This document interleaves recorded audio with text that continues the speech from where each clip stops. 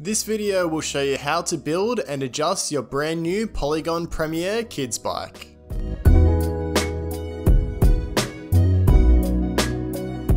When you open your new bike box, you'll see a small box on top. This contains everything you'll need to build your new bike. Opening the box, you'll see a manual, 15mm wrench, bell, reflector, pedals, as well as a 4 and 5mm hex key. Make sure you keep all these parts and tools as you'll need them for the assembly of the bike and in the future. Next, carefully lift the bike out of the box and place it on the floor. Then remove all the packaging and place it to one side. Ensure you keep all the packaging just in case you ever need to transport the bike or return it.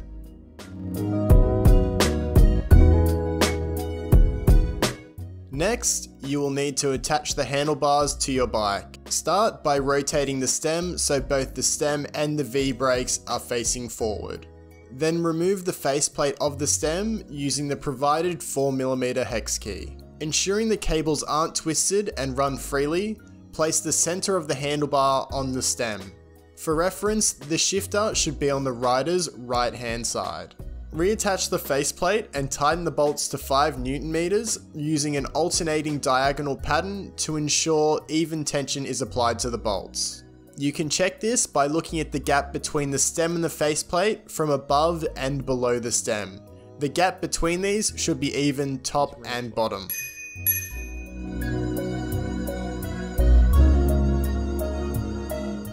Firstly, you will need to release the V-brakes by squeezing the arms together and removing the brake noodle from the housing. Now lift the front end of the bike and insert the wheel into the dropouts, noting that the washer and nut are on the outside of the dropout. Ensuring that the bike is now on the ground so the wheel sits evenly in the dropout, you can now hand tighten the nuts. Then using the provided 15mm wrench, tighten the bolts on each side firmly. Lastly, reattach the V-brakes by squeezing the arms together and installing the brake noodle back into the housing. Then test to ensure the brakes are working properly and not rubbing.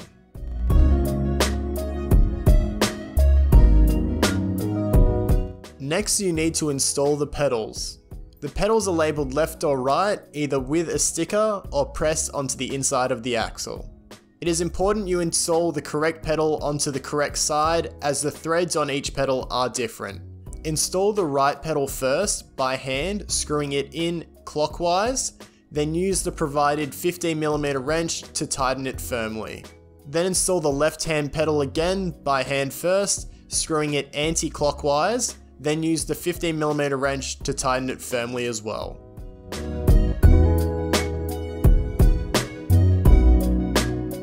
At this point in time, you can now make adjustments to the bike to make it fit your child. The first point is rotating the bars, which can make the bike feel a little bit smaller or bigger, and can also make the brakes a little bit flatter to make them easier to reach for your child. Start by loosening the stem bolts evenly and then rotate the bars. Once you have found the correct position, retighten the bolts evenly as shown previously. The next is the saddle height simply undo the quick release lever and adjust the height of the saddle. Depending on your child's confidence level, this will either be with their feet flat on the floor, especially when they're starting off, or at the optimal height with their tippy toes just barely touching the floor.